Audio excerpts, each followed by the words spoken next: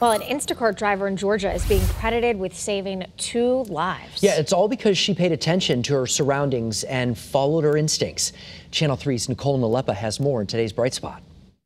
I just want to start this off by saying if you see something, say something. That's how Jessica Higgs started this TikTok explaining an Instacart delivery she'll never forget. But it was far from where this story started.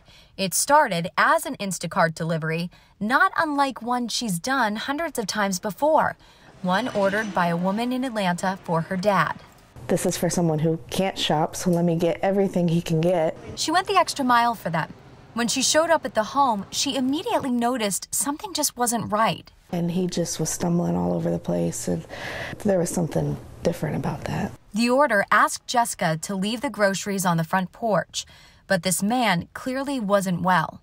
Instacart only recommends drivers enter customers' homes if they're invited and if they feel comfortable. Now, Jessica always followed that advice. But I used my judgment and I brought the groceries inside. That's when she smelled something. And it's a pretty predominant smell.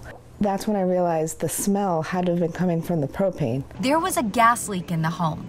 Jessica sent a message to his daughter telling her what she noticed, and she credited Jessica with saving her dad's life and increased her tip from $14 to 100. Thank you so much. Once my son went to check on my dad, it turned out it definitely was leaking. You definitely saved my dad and my younger son's life.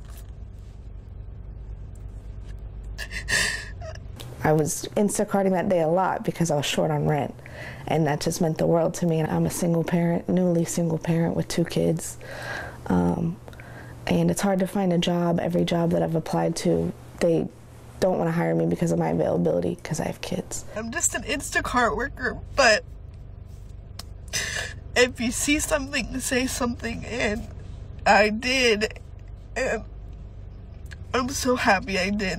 With today's Bright Spot, I'm Nicole Nalepa.